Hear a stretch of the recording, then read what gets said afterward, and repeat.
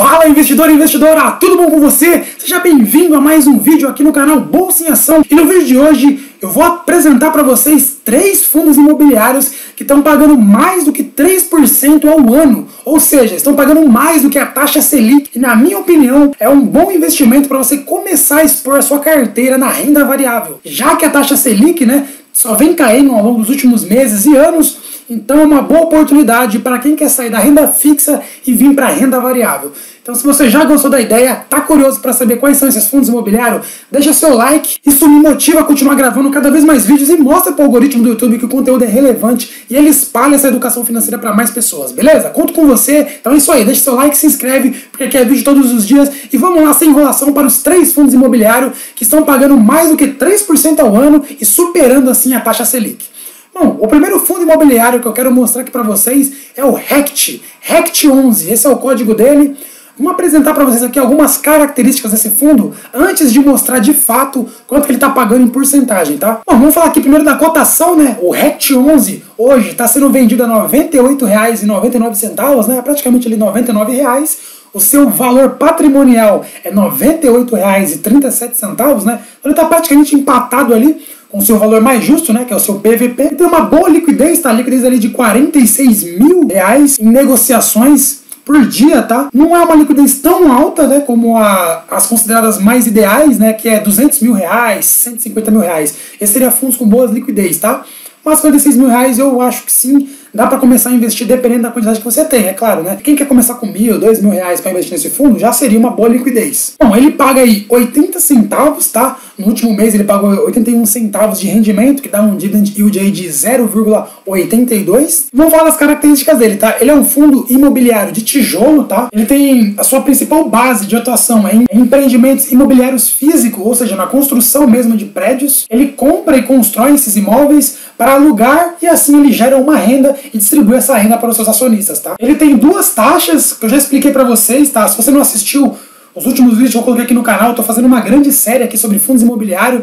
Eu já soltei um vídeo aqui falando dos cinco motivos de o porquê você deve investir em fundos imobiliários. E também soltei aqui sete fundamentos que você deve analisar quando for comprar fundos imobiliários. Então, se você ainda não assistiu esses dois vídeos, depois que assistir esse vídeo aqui, corre lá no canal, se inscreve aqui para não perder nada e corre lá e assiste esses dois vídeos, tá? Que vai te ajudar muito a como investir melhor em fundos imobiliários. Então eu já expliquei nesses vídeos o que, que são as taxas, tá? Então, esse fundo ele tem duas taxas. Ele tem uma taxa de administração de 0,17%, ele tem uma taxa de consultoria de 1% ao ano, tá bom? Ele é, um, ele é um fundo imobiliário, tá? Do tipo de gestão ativa e ele atua aí no segmento híbrido. Os dividendos dele nos últimos meses vêm de forma constante, tá? Sempre mantendo ali 81 centavos, tá? Tanto em maio, abril e março, são esses três meses aí que a gente vem sofrendo, tá? Com a crise, né, do vírus, e mesmo assim ele continuou pagando proventos, né? A gente sabe que alguns fundos cortaram os dividendos, mas o RECT 11 continuou pagando nesses meses aí a gente vem de, sofrendo aí com lockdown, quarentena e etc. Ele tem seis ativos, tá? Espalhados em três estados ao redor do Brasil. Ele tem quatro ativos aqui no estado de São Paulo, um em Brasília e um no Rio de Janeiro. E a sua vacância é apenas de 10%, tá? Ou seja, ele tem 10% dos seus imóveis que estão vazios. Os outros 90% já estão alugados recebendo assim aluguéis todos os meses, tá? Então é uma vacância considerada ok, 10% ali tá dentro de uma boa margem, tá bom? E a informação todo mundo mais quer saber, né, que é o título desse vídeo, são os fundos que estão pagando mais do que a taxa Selic, é quanto que esse fundo tá pagando aí de proventos ao longo dos últimos 12 meses, né? Quanto que ele rendeu o nosso dinheiro caso a gente tivesse aplicado nele. Bom, nos últimos 12 meses esse fundo aí deu uma rentabilidade de 10,36%.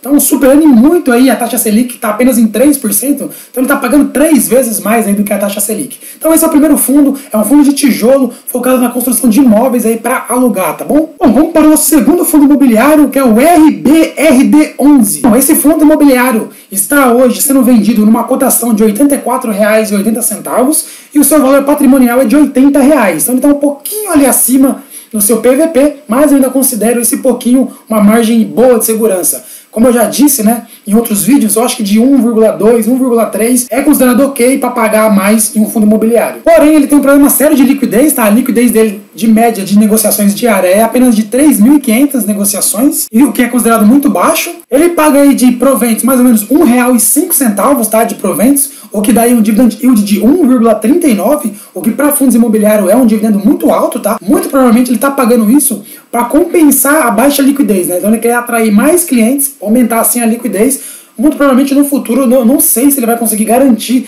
esse dividendo né, de R$ 1,05 aí por mês. Bom, vamos falar agora das características do fundo. Né? Ele é um fundo imobiliário, como eu já falei, do tipo tijolo e o foco dos investimentos é, é direcionado a propriedades comerciais no segmento de varejo, ou seja, um fundo imobiliário que compra essas lojas. Essas lojas onde, por exemplo, tem Marabras, Casas Bahia, Ponto Frio, é, Magazine Luiza, ou seja, essas lojas físicas, né? Ele compra várias dessas lojinhas e vende ali esse espaço para essas lojas poderem alugar ali e poder ter o seu negócio rodando nesses, nessas lojas. Bom, e seguindo essa linha, ele atua tanto na compra desses espaços para vender para essas lojas, como ele também pode construir e vender todo o terreno para essas lojas também, tá? É um outro tipo de atuação que ele tem. Bom, ele também tem dois tipos de taxa, assim como o último fundo que eu expliquei, que ele tem a taxa de administração, que é de 0,17 também, semelhante ao, ao RECT. Ele tem uma taxa de consultoria de apenas 0,10% ao ano, diferentemente do RECT, né, que tem 1% de taxa, que eu considero uma taxa elevada. O tipo de gestão dele também é ativa, e ele, ele atua no segmento híbrido também. Bom, e o fato negativo desse fundo também, que eu acredito, é a sua inconstância nos pagamentos de proventos. Ele paga durante vários meses ali 50 centavos, 55 centavos, essa é a média dele.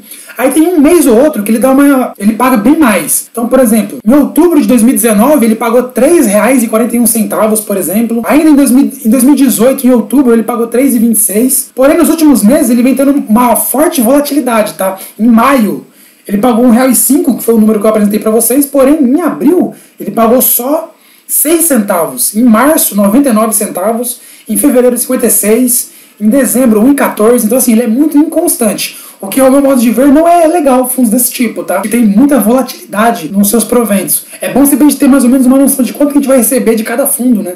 E não fundos que são muito voláteis assim. Esse seria um fato negativo, tá? Vamos falar agora de onde está espalhado os seus ativos. Ele tem aí quatro ativos, ou seja, quatro imóveis, né? Espalhados em três estados é, pelo Brasil: Minas Gerais, Rio de Janeiro e Rio Grande do Norte. Então ele está bem diversificado aí na região sul e na região norte, né? E a sua vacância também é zero. Todos os seus imóveis estão 100% alugados, tá? Então a vacância dele é zero, o que isso é um fato muito positivo do fundo. Bom, e por fim, vamos falar da informação que todo mundo quer saber, né? Quanto que ele paga de proventos ao longo dos últimos anos, né? Será que ele supera a taxa Selic? E sim, ele supera a taxa Selic muito, tá? Ele paga 11,12% de dividendo nos últimos 12 meses, superando muito aí também a taxa Selic. Bom, e o nosso terceiro e último fundo imobiliário que eu vou falar para vocês aqui é o HGRU11, que é um fundo aí de renda urbana, tá? Bom, vamos trazer aqui algumas características desse fundo, mas antes, deixa seu like se você está gostando desse vídeo, se a informação que eu estou passando aqui para você é relevante, se eu estou agregando valor e conhecimento para você, então o mínimo que eu peço como retorno é para você se inscrever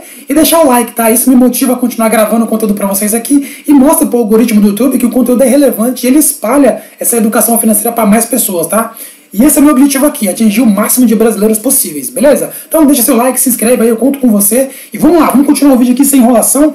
Bom, esse fundo HGRU11, ele está sendo vendido as suas cotas a 124 reais no dia que eu estou gravando esse vídeo. Ele tem um valor patrimonial ali de 107. Então ele está um pouquinho elevado, tá? Ele tem uma liquidez média diária de 39 mil negociações por dia. E o último proveito que ele pagou foi 68 centavos, o que dá um dividend yield de 0,59. Ele tem um excelente patrimônio, tá? Mais de um bilhão de patrimônio, então ele já é um fundo maior, um fundo, um fundo considerado grande. E ele também é um fundo de tijolo. Se você for perceber, né, coincidentemente, os três fundos que eu apresentei aqui, todos são de tijolos, porque eu não gosto de fundos de papel, eu não gosto de ficar comprando dívidas de papéis, tá?